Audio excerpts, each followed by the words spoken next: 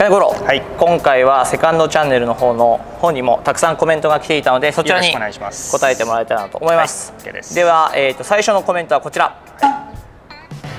い、OK です。質問のですね腰のあたりからは肩のあたりですか。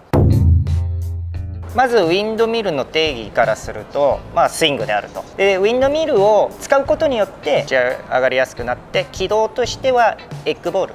が打てるようになる。なぜ低い球かというとやはり体のこの下の部分ですね。ここら辺ですかね。外側に持ってきやすいですよね。反対に高いこの打点っていうのはアウトサイドからインに持ってった方が体の構造上一番使いやすいと。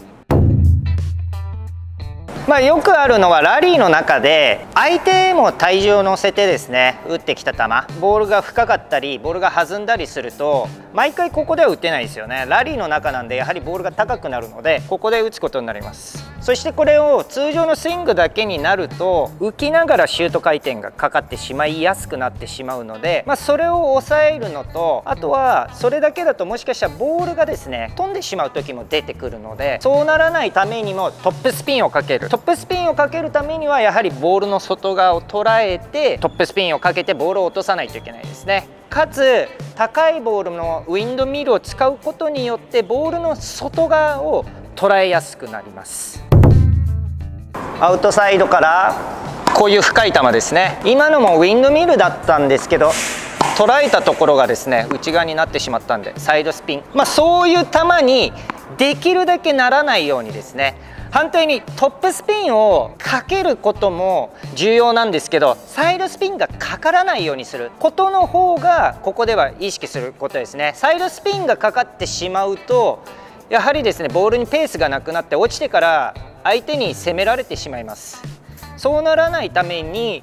サイドスピンを抑えるためにウィンドミルを使ってできるだけトップスピンをかけられるようにですね、えー、していきます。意識的にですね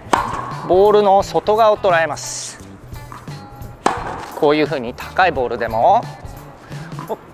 こういうシチュエーションよくありますよね。今のも若干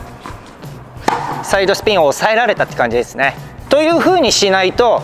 やはり今の球をですね何も考えずスイングしてしまうとまずですねボールにスピードが出てしまうのとやはりですね距離のコントロールができないんで浅くなってしまったり深くアウトしてしまったりするまとまらないボールになってしまうのでそういう意味でも縦のスイングを意識して使ってみてください。はい、もちろんですね下ろせて時間がある時はもっと下がって腰の辺りで打つとより効果のあるペースのある球を打つことができます。